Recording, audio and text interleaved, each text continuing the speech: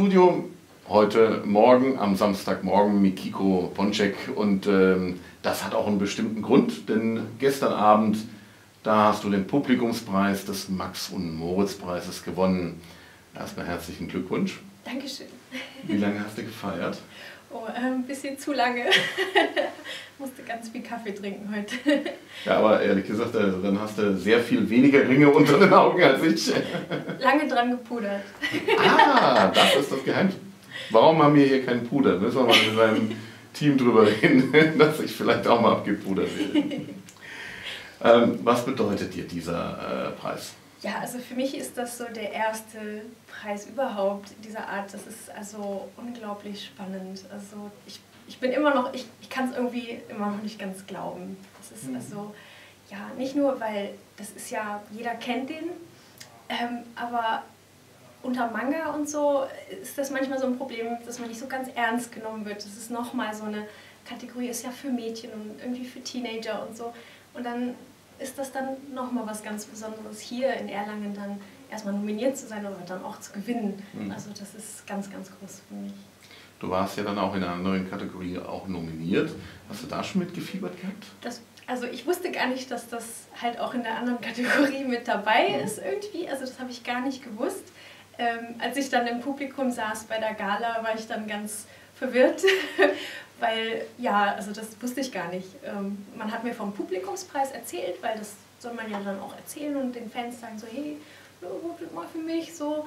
Und ähm, ja, das war also eine Überraschung eigentlich. Mhm. ähm, du hast ja den Publikumspreis gewonnen. Wie wichtig ist für den Publikumspreis die Fanbase? Extrem wichtig. Also bei mir ähm, geht ohne Fanbase gar nichts, denn ähm, der Grund, warum ich als Manga-Zeichnerin und Comic-Zeichnerin überhaupt davon leben kann, ist eigentlich durch die Fans. Denn ich habe dieses Patreon, was, ähm, ja, das ist so wie so ein, ähm, eine Website, ähnlich wie Kickstarter, so ein Crowdfunding, nur dass es halt eine monatliche Angelegenheit und das ist ähm, wie so ein, so ein Mäzen-Beziehung. Äh, nur dass es statt ein Mäzen der einem großzügig dann das Geld gibt, sind das das kleines, äh, kleines bisschen von jedem Fan, irgendwie so ein Euro mal oder fünf Euro mal. Und dann sind das halt einfach ganz, ganz viele Fans, die nicht unbedingt dann ganz viel Geld haben, aber gerne meine Sachen sehen wollen.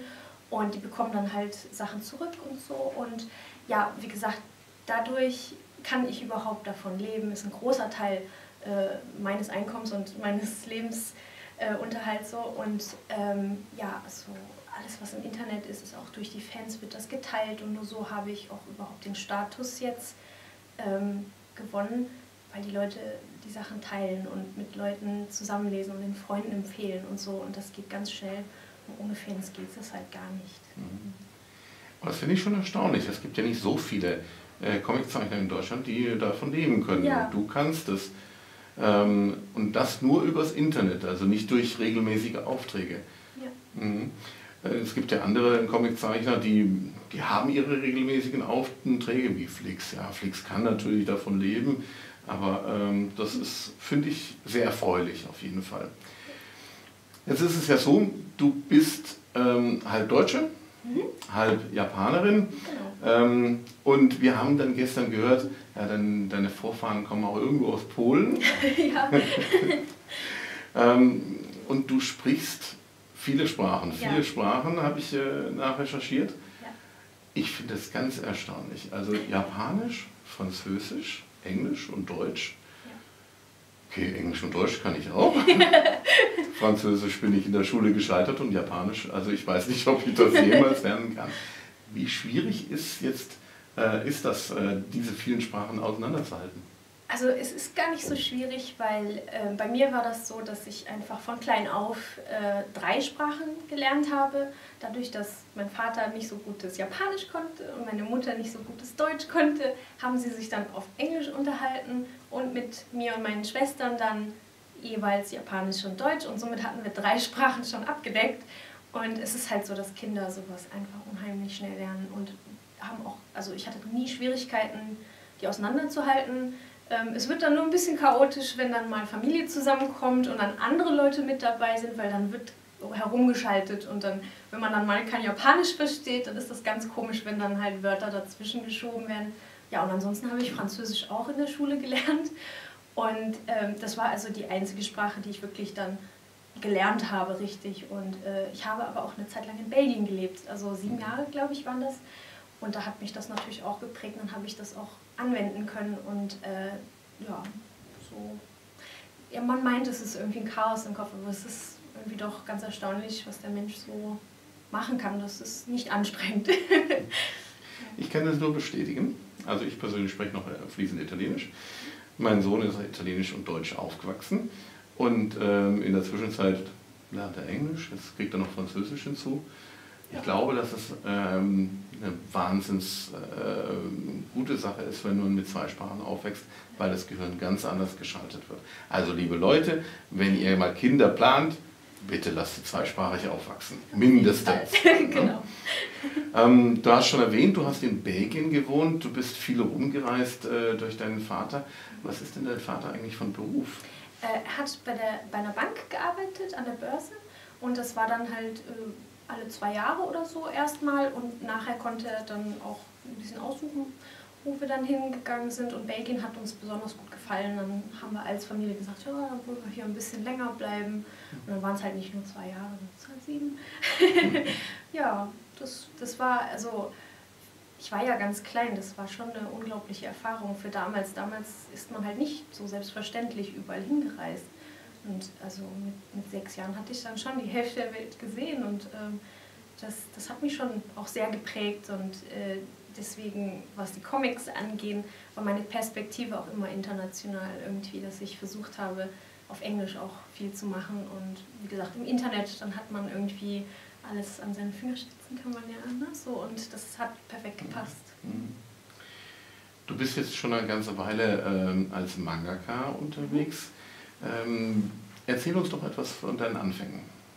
Ja, also der Manga war für mich immer so ähm, eine Verbindung nach Japan natürlich, weil ich fast immer außerhalb Japans war und ähm, nur meine Mutter hatte so als ne, zum Japanisch sprechen. Ich hatte auch nicht so viele japanische Freunde, man hat sich auch nicht so gesehen. Und das war für mich so, ein, so eine kulturelle Verbindung noch nach Hause und ist für mich so eine Sprache geworden. Ich, hab, ich hatte früher auch gar nicht so viele Freunde und ich konnte mich auch nicht so wirklich, oh, ich war sehr schüchtern und ich konnte mich nicht so gut verständigen. Wir sind immer umgezogen. Und da war für mich das Zeichnen einfach so eine ja, Art zu kommunizieren und mit Leuten ins Gespräch zu kommen. Und ich habe dann irgendwann mit zwölf einen ähm, Shonen-Manga gelesen, also so ein so ein Abenteuer, so Heldensache, eigentlich für Jungs. Ich habe immer mehr so Sachen für Jungs cool gefunden. Und dann habe ich mir irgendwann mit zwölf gedacht, so das macht ja jemand als Job. Muss ja sein irgendwie, das kann ich doch bestimmt auch. Und dann habe ich erst angefangen abzuzeichnen und danach habe ich mir meine eigenen Sachen gezeichnet. Und es ist irgendwie nie weggegangen. Und als ich dann nach Deutschland gezogen bin, war gerade dieser Manga-Boom. Also das hat gerade angefangen, wo die ganzen Sailor Moon-Leute, also die Leute, die mit Sailor Moon aufgewachsen sind, haben gesagt, ich mache auch Manga.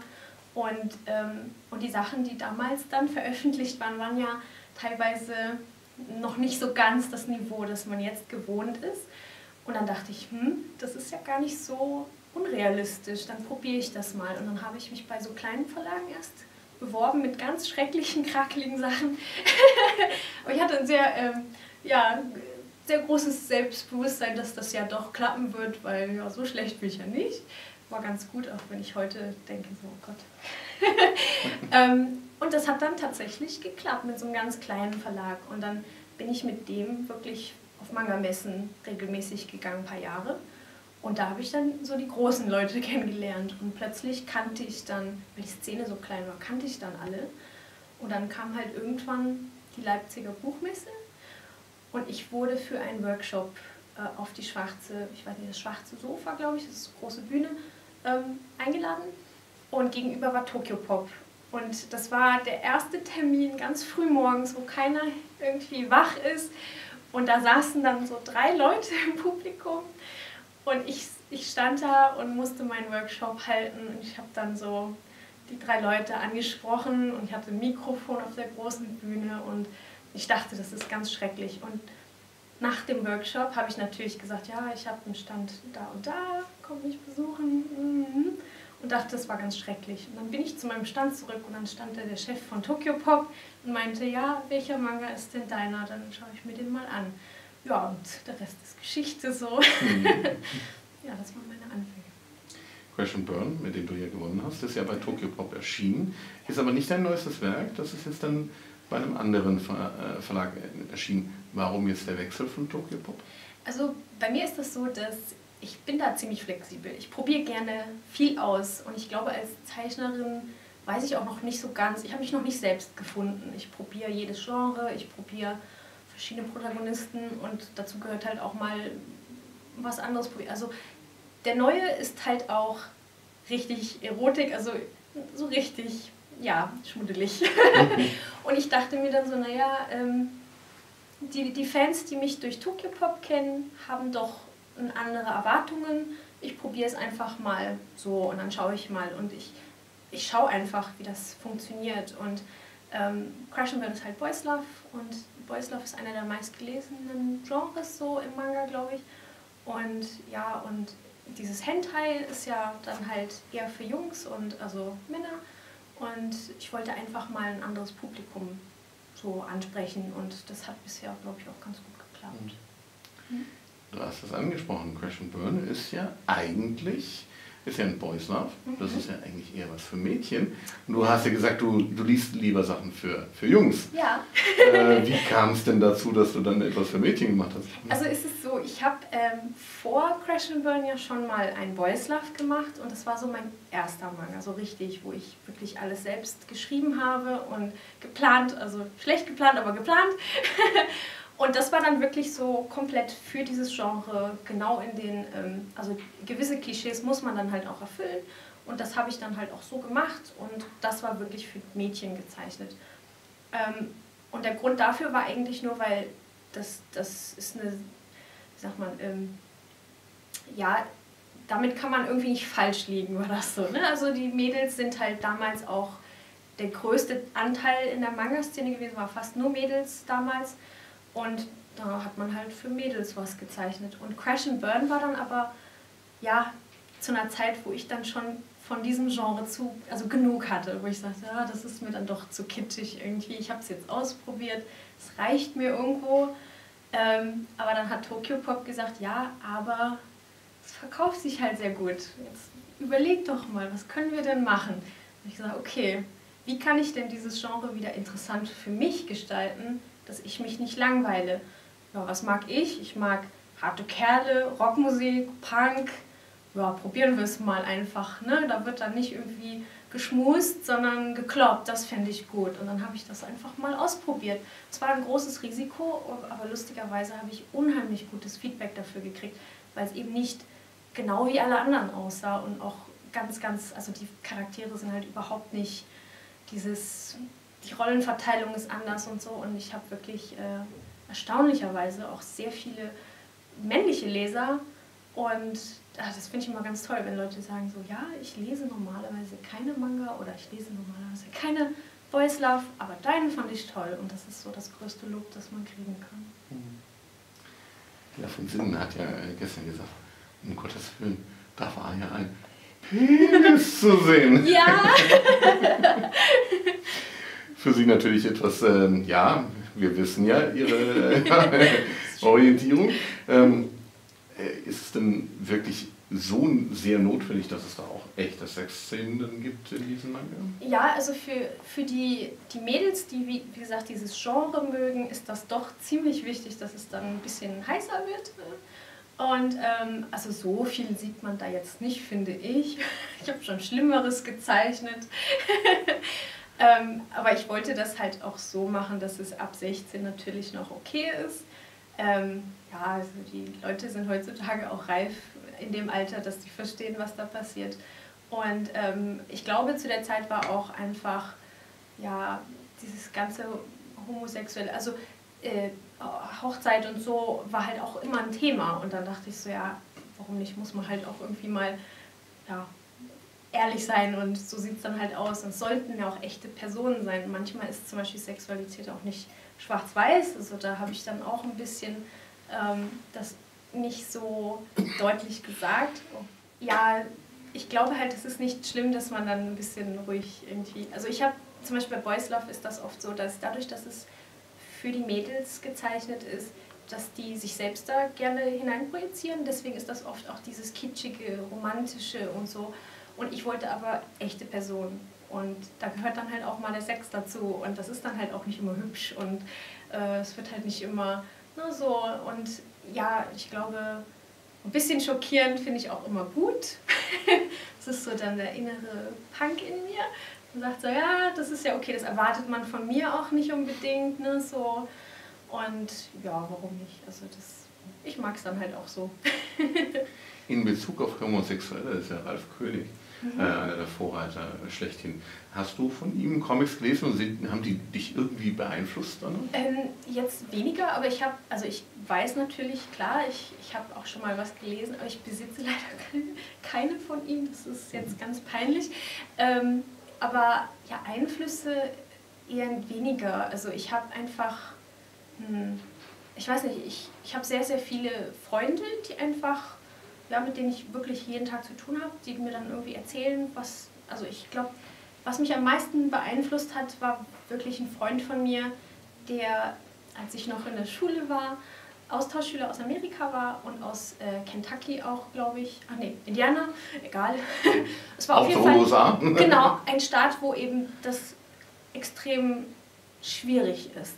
Und er hat mir einfach erzählt, was er sich so anhören muss von Familie und Freunden und das hat mich dann doch sehr geprägt, weil ich weiß nicht mehr, wie alt ich da war, aber das fand ich dann total komisch, weil ich das nie in meinem Umfeld als Problem gesehen habe und dann einfach einen Einblick in eine Kultur hatte, wo das wirklich ein Riesenproblem war, wo man eben sich nicht sicher fühlen konnte.